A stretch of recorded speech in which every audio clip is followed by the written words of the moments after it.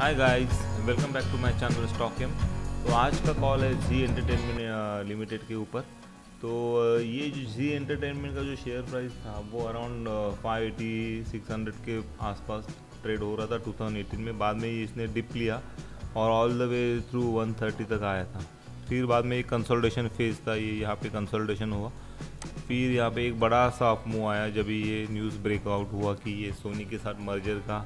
और आकाश झुंझुनवाला जी ने भी उसमें इन्वेस्टमेंट किया। तो यहाँ से ये बड़ा अप मूव आया। फिर ये वापस से कंसोल्टेशन फ़ेज़ चला। तो ये सितंबर से कंसोल्टेशन में ही था। मगर अभी ये यहाँ पे आप देख सकते हो ये बॉक्स ब्रेकआउट हो रहा है यहाँ पे। तो बॉक्स ब्रेकआउट बहुत स्ट्रांग होता है। तो हम लोग देखेंगे उसमें टेक्निकल्स क्या बने हुए हैं। ये जो अभी प्राइस है वो, ये जो रेड लाइन है वो मूविंग एवरेज है ट्वेंटी का। तो ट्वेंटी डी के ऊपर स्टॉक प्राइस मूव हो रहा है। ऑलरेडी है और यहाँ पे 50 डे का जो मूविंग एवरेज है 50 डी में, वो 20 डी में आप देखो वहाँ से ऊपर ही चल रहा है। तो ये कहाँ से उसने जो कन्वर्जन दिया था, वो अराउंड सितंबर में हुआ था, और वहाँ से ये कंटिन्यूस ऊपर ही चल रहा है। तो हम लोग देखेंगे हमारा अदर पैरामीटर्स एडीएक्स अभी क्या बता रहा है। एडीएक्स का वैल्यू 27.8 है, जो बहुत ही स्ट्रॉन्ग ट्रेंड बता रहा है कि ये ट्रेंड ट्रेंडिंग स्टॉक है अभी, और इसका बायस अपवर्ड साइड में क्लियरली पता चल रहा है। यहाँ पे हम लोग ने देख सकते हैं कि जो एम और सिग्नल लाइन से ऑलमोस्ट अभी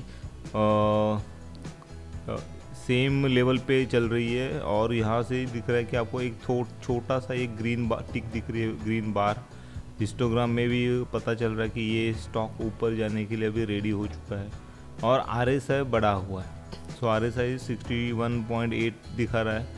तो ये जो स्टॉक है ये स्टॉक में अभी बड़ा मूवमेंट आने की संभावना बनी हुई है। तो हम लोग इसमें ट्रेड लेंगे नेक्स्ट वीक के लिए और एक्चुअली कल से ये मेरा कॉल चालू हो जाएगा। तो डिटेल्स जो है, वो मैं अभी शेयर कर रहा हूँ।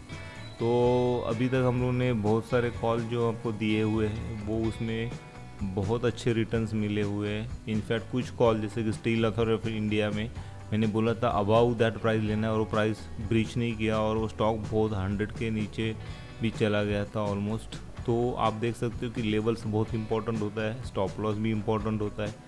तो जब भी मैं बोलूँ, वही प्राइस के अबाउ आपको बाय करना है, या मैं कभी लिखता हूँ कि एट प्राइस तो आप कर सकते हो एट प्राइस में।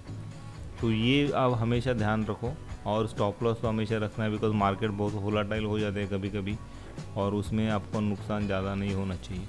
तो बने रहिए मेरे चैनल में और सब्सक्राइब तो आपके दोस्त लोगों के साथ भी ये चैनल को सब्सक्राइब करें। और मैंने अभी फ़िलहाल तो कैंडस्टिक के ऊपर भी एक वीडियो बनाया है, वो भी आप देख लो।